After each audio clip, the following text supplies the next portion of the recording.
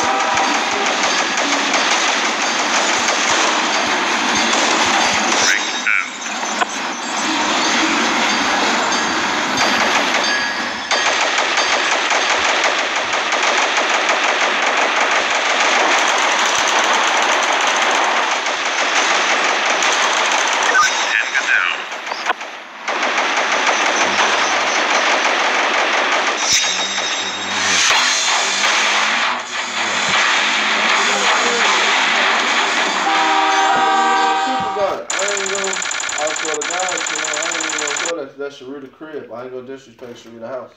You know.